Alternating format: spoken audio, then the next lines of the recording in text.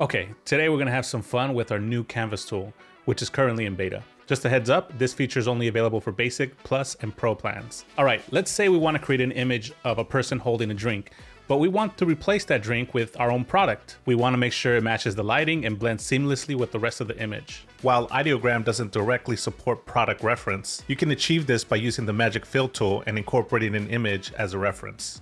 I'm gonna show you how to do that. Let's start by generating our main image. We'll add our product afterwards. Generating an image in Ideogram is super easy. Simply click up here and the window will drop down. You can start by typing something very basic and if you have Magic Prompt turned on, it will enhance your prompt by adding more context, details, and stylistic elements. You can also choose from a wide selection of aspect ratios or input a custom one.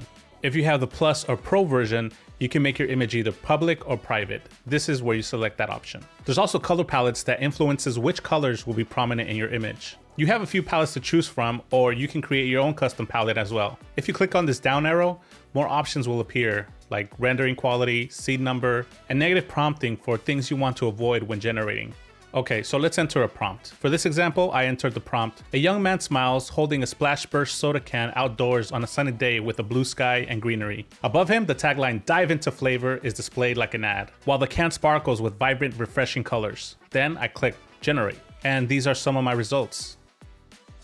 I really like this one, so I'm gonna send this to the canvas so I can alter it. You get to the canvas by going up to these three little dots right here and click on Edit in Canvas. This will open up the canvas window. Here you see your image, and on the left, you can drop this down to view previous Canvas projects you've worked on. I recommend labeling these for easier organization. Just click up here and type a name. Now, although this soda can looks great, what if I need it to be a specific design? Let's do that by adding my product in here. I generated this fake soda brand for this example, but it can be any brand, like Coke Zero. Just make sure the product is clearly visible. Now let's bring in a product image by clicking here where it says upload. Go to wherever you have your image saved and upload it. From here, make sure your product image isn't covering up the main image. You can push it back by clicking on these three dots and selecting send to back. Now let's put our product on the side right here. Just make sure it's in full view. Next, we'll use the magic fill tool. Choose either the lasso or rectangular tool whichever helps you select the area best. Select the area you want to change and you'll see a pink and purple overlay showing what you selected. Once you've selected your area,